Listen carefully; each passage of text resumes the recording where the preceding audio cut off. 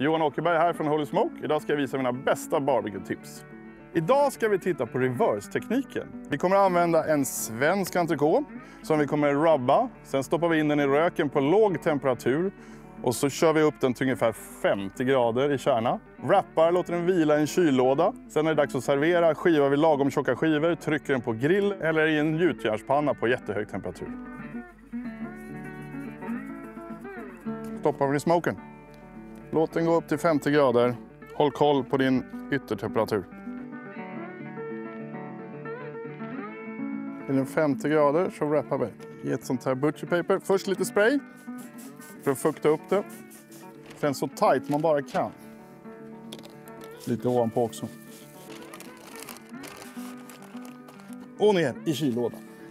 Då har entrecôten vilat i typ 30-40 minuter i kyllådan här.